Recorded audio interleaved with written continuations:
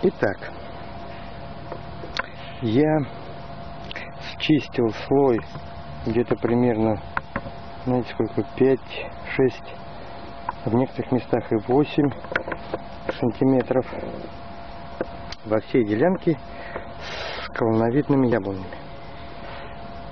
Вот, извините, моя тень. И солнышко уже на закат идет. Что мы этим достигли? Ну, то есть я.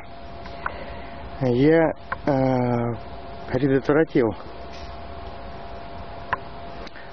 одно действие, чтобы подвой, э, вернее, чтобы свойства подвоя остались неизменными. И самое главное, чтобы полевой не дал свои корни. Э, не изменяя свойства королькового подвоя. Что это нам дает, я уже объяснил. Может быть и задержка в плодоношении. Они у вас нормально года 3-4 плодоносили, обильно потом бац, и пропало плодоношение. То есть ослабло. Вот чтобы этого не было, нужно не допустить, чтобы привой дал собственные корни. И второе действие – это то, что э, сейчас у нас конец сентября и выросшие побеги в этом году должны вызреть обязательно, особенно верхушечная почка. Если она у нас не вызреет, то значит на следующий год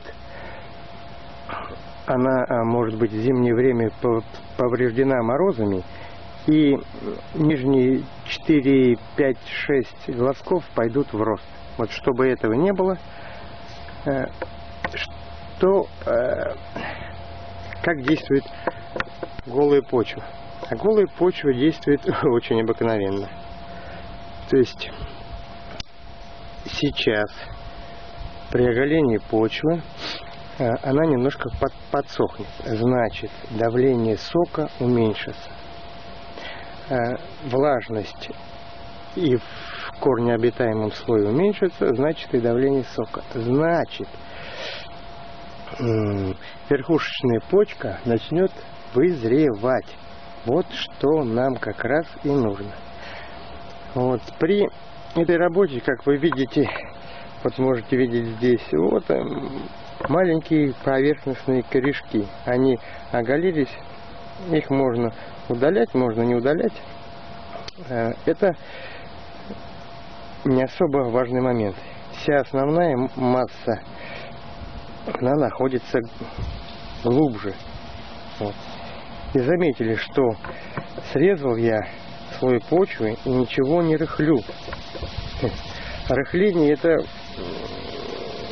как я думаю, это глупейшая работа, которую придумал кто? Ну, вы догадались, конечно, человек. Для чего нужно рыхлить? Я вообще не понимаю. Ну, давайте представим. Вот если вот эта почва, вернее, почва в делянке, будет рыхлой, то скажите мне, пожалуйста, как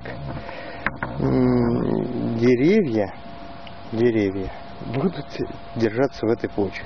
Вообще не представляю. Вы можете себе представить? Нет. И зачем рыхлить, если э, сейчас после листопада мульча будет водружена в эту делянку. То есть мульча это и есть тот рыхлый слой, который должен лежать на поверхности почвы.